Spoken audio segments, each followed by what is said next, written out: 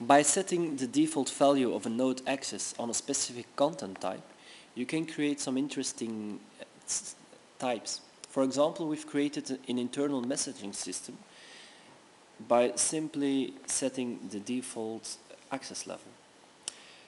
So, for example, if I want to create a message,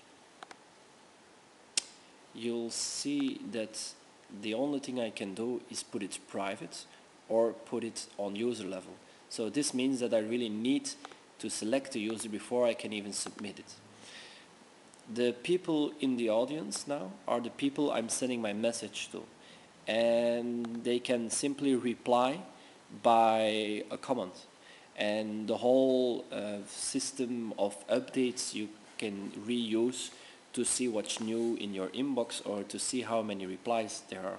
For example, over here, this is a message from Wouter to me, but also to Tongi.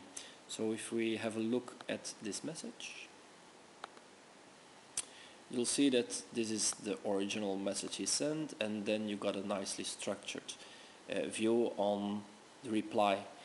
In combination with something as a mailing system, you can get this also in your mail, of course.